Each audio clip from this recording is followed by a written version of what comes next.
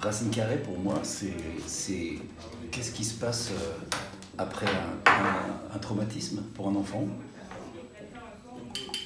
Quand des parents ont décidé pour lui. C'est-à-dire, euh, si des parents décident que tu vas à un endroit ou à un autre, qu'est-ce qui va se passer dans la tête de cet enfant euh, après avoir vécu un traumatisme important qui est une guerre ou dans ce cas-là la vision d'un bus qui explose quand on a 9 ans avec des enfants qui meurent dedans?